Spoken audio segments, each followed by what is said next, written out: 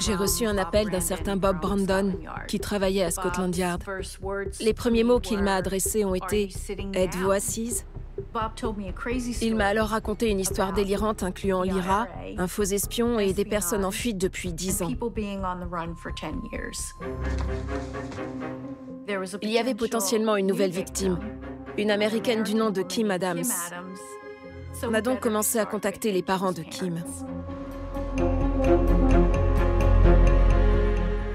J'ai envoyé des agents en Arizona pour vérifier s'ils avaient eu des nouvelles de leur fille.